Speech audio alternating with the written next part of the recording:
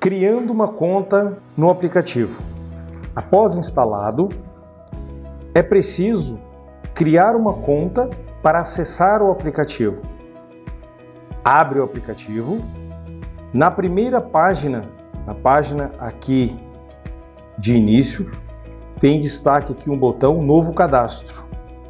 Clica no Novo Cadastro e entra com as suas informações. Primeira informação: número do CPF, a data de nascimento, o endereço de e-mail, ele é importante, ele é necessário tá, para efetuar o cadastro. Todo cadastro ele vai exigir uma conta de e-mail.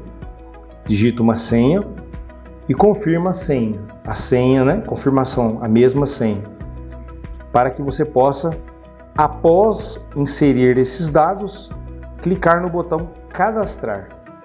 Neste momento, quando clica-se no botão cadastrar, é, ele vai fazer o processamento e te avisar. Avisar que a sua conta foi criada, mas é necessário para que você ative a conta. Para ativar a conta, você vai receber um link no e-mail cadastrado. No e-mail cadastrado, você vai entrar no e-mail e vai clicar ativar a conta para assim você poder efetuar o acesso no aplicativo.